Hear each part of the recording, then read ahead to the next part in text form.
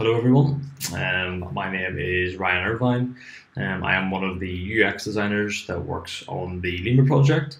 I'm just going to run through some of the UX and UI improvements um, that we looked at for the 2.3 release. Um, so firstly, um, what we kind of covered uh, that you probably just heard, um, kind of the main features that we introduced were vehicles and license plates. Um, so that included kind of the same thing as what we have done for persons and people, which is creating them in the system, uh, being able to filter them, and how we detect and analyze them. So how it works in with the, the task workflow essentially. Um, and with that, that's where most of the UX and UI improvements came. Um, so within that task workflow, uh, which is where an analyst would um, be working on a task uh, essentially. So we looked at um, how we can improve that task workflow with filtering detections, um, how we can get more accurate matches with the integration of uh, Canvas area, um, how we can kind of uh, assist analysts by showing a bit more about the detection, uh, which ties into vehicles a bit better. Um, being able to then add detections to the report um, without a uh, without a match um, to kind of uh, allow for more accurate reports and even you know being able to single out um, suspicious, suspicious people that we don't know about. Um, and also looking at creating entities um, directly from detection. Um, so I'll get into a bit of that um, throughout. Um, firstly, just to touch on vehicles and license plates and the integration into the system. So the same way as what we, we have done for people, um, so the same kind of creation process um, in the system, um, and something slightly different that you know it doesn't really didn't happen before with, with just people in the system is that we can now create kind of these links, um, so we can have current vehicles. Uh, sorry, current license plates on vehicles, which you'll kind of see there from the, the blue links. Um, so anything that has a uh, indication from a license plate to a vehicle will be kind of linked there. Um, so we can kind of create these small small associations between uh, these vehicles and license plates now, um, which then gives uh, analysts and supervisors and whoever it may be who are searching for a particular vehicle or particular license plate um, a bit of a history of what license plates were on that vehicle, for instance.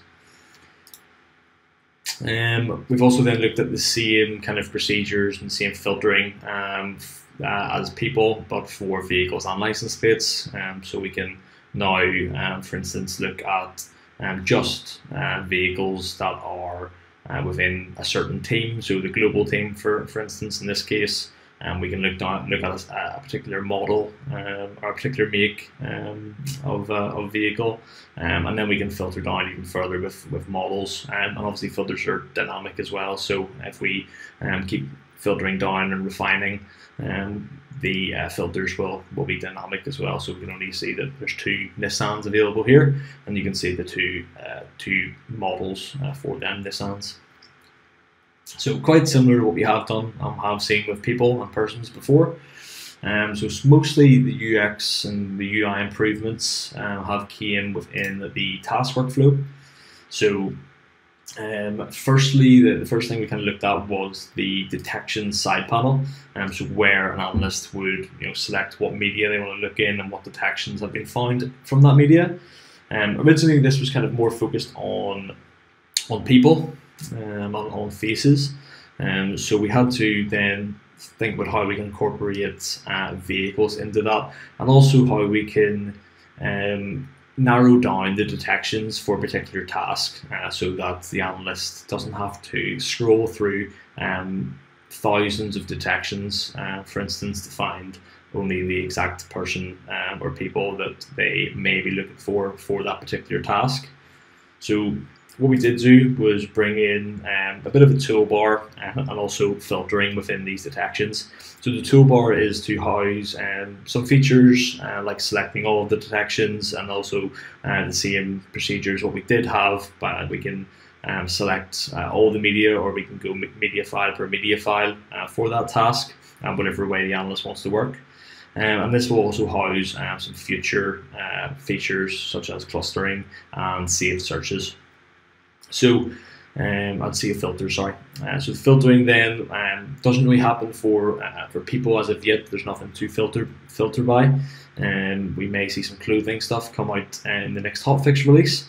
Um, but for now, we can, uh, for this release for 2.3, we can filter down the vehicles. Uh, so, for instance, uh, we currently have a vehicle, or we currently have a filter applied, which is vehicle type, um, and you may want to then filter further. So, by by particular make or particular color um, or the plate region, for instance.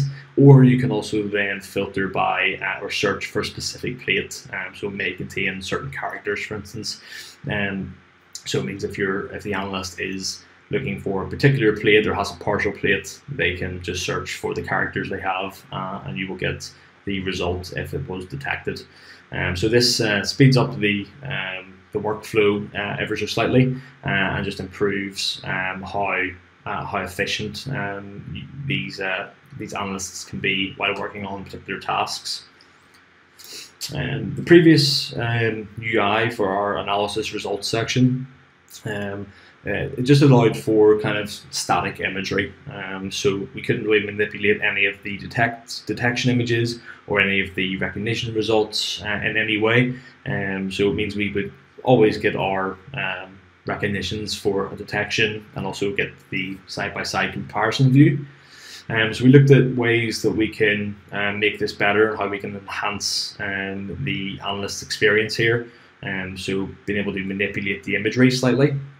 And we did that by integrating a canvas view. Um, so this is a full, fully zoomable, panable um, canvas area um, in which we can uh, zoom to a certain amount or we can zoom it uh, as far out as far in as possible to determine um, certain blemishes or scars on a um, on a detection's face or tattoos, for instance. Um, and also then it means we can uh, the analyst can align the the images how they want them if they're you know matching cheekbones or nose or eye level and um, it means then that they have a lot more control over uh, how to position uh, these these uh, the, the, pieces of imagery uh, from the detections on the left and recognitions on the right. So it means we can have more accurate matches, uh, uh, essentially. Um, also, um, like I said, we brought in vehicles and license plates. Uh, so how this then fits into the current UI uh, for the analysis results. Um, so pretty much the exact same way as people. Well, we will get um, we can select whatever vehicle detections and then we will see recognition results if we have them in the system. Um, so if a particular number plate is detected, um, we will be able to see it if we have it in the system and we'll also get uh, the same uh, kind of uh, system as before. We'll get, you know, uh, pretty much uh, accurate um, recognition results um, based on the confidence score. We then also looked at how we can kind of improve the analyst's decision even more and also learn a bit more about the detection by including the detection information. Um, so um, this applies more to vehicles at the minute. Um, so we can get the you know the plate value that was detected, the, the region of the plates, um, make um, of the vehicle potentially, and color of the vehicle potentially. Um, depends on what gets detected at that time.